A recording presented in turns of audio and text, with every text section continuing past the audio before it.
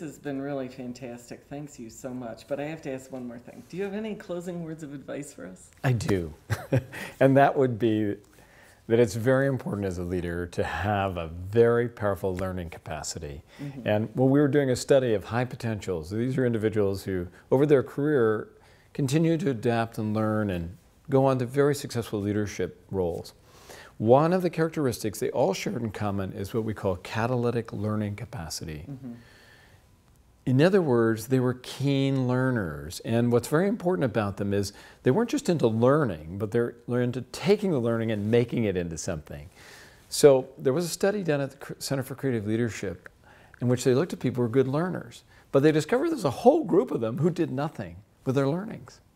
Oh, and they didn't do anything, and so they actually didn't have much of an impact. What so, does it mean that they knew something new but didn't use it? Or didn't act upon it. I see.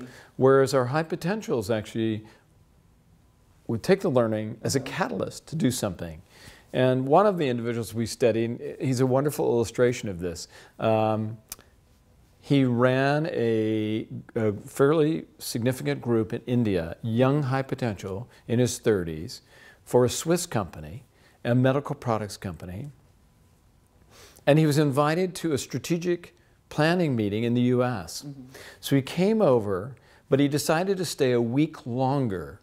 And he spent that week with the US sales force, traveling around with the top salespeople, learning how they did what they did. Mm-hmm. And during that week, he learned all sorts of techniques. And more importantly, he said, Gosh, you know, the US sales force has really figured out some things that we have not in India. So when he flew back, he created a sales force competency model, which he implemented within about four weeks, as well as he borrowed a lot of the innovations he learned in the US and put them in place literally within a few weeks upon getting home.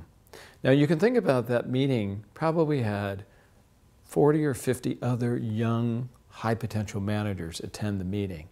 Vineet was the only one who stayed on, learned, and brought the learnings back to India to take his business to the next level. Mm-hmm.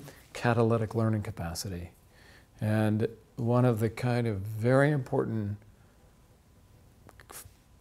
really enormous stumbling blocks is your ability as a more senior leader to believe that you've figured it all out and there's nothing to learn. That actually will, that potentially sets you up for one of the biggest falls in your career.